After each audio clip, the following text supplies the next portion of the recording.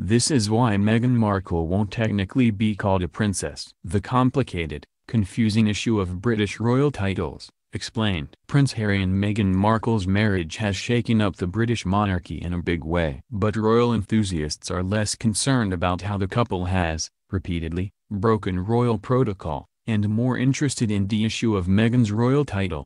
Why? When it comes to the protocol of the British monarchy, nothing is more complicated than royal titles. For instance, Princess Charlotte's future kids won't get royal titles, but Prince George's will. But here is where things get even trickier. While Kate Middleton may one day take the title of princess, Meghan will not ascend to official princess status.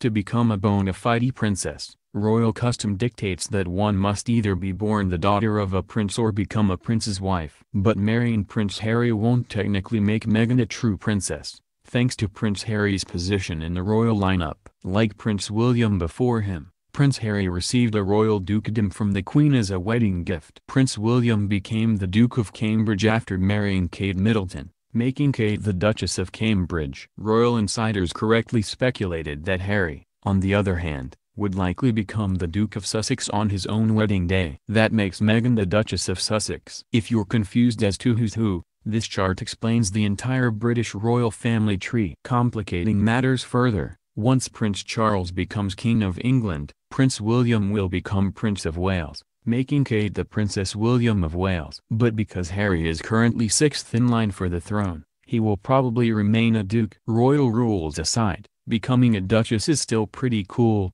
and we'll still keep reliving their fairy tale ceremony no matter what. Check out these 17 tiny details you probably missed at Prince Harry and Meghan Markle's wedding.